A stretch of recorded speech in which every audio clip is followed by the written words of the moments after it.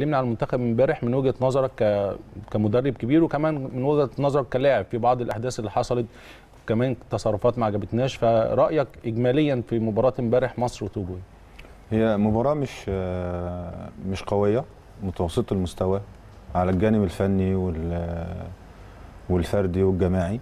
ما كناش متوقعين طبعا إن منتخب مصر يظهر بالصورة اللي هي مش عايزين نقول الصورة السيئة لكن كنا متوقعين إن هم يكونوا أفضل من كده. منتخبنا الوطني متعودين إن إحنا بنلعب مع أي فرقة سواء آه، داخل ملعبنا أو خارج ملعبنا. آه، عندنا نجوم عندنا محترفين وناس آه، نجوم في النادي الأهلي ونادي الزمالك وصلنا نهائي أفريقيا.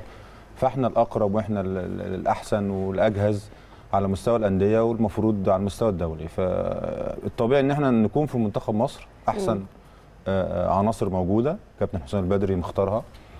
العناصر اللي موجودة اختيارات موفقة جدا. ال- ال- اللعيبة اللي لعبت في ال- في المباراة توجو. أول فوز لينا طبعا كان فوز معنوي.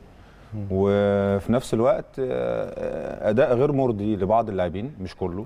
في نجوم وفي مكاسب في المباراة. منهم محمد هاني ومنهم فتوح ومصطفى محمد وزيزو. الحقيقة آه، عملوا آه، والنني مع الشناوي عملوا آه، يعني على المستوى الفردي تقصد يعني يعني أدوا بشكل بشكل مكاسب المباراة. مكاسب المباراة. إن هم يعني بتقول مستوى فردي مكاسب المباراة ما فيش فرق مش مشكلة ممكن تمشي يعني. اتفاجئنا ببعض الناس إن زي زيزو لعيب كويس محمد هاني اتمنى له الشفاء العاجل إن شاء الله برضه عشان مباراه نهائي شاء الله. افريقيا نطمن الناس إن هو بخير إن شاء الله يرجع بالسلامة بإذن الله. فمباراة بالنسبة لنا كانت صعبة. أول فوز لينا منذ سنة ما ما لعبناش كورة مع كابتن حسام ما فيش معسكرات. فالتجانس كان مهم جدا ما كانش موجود.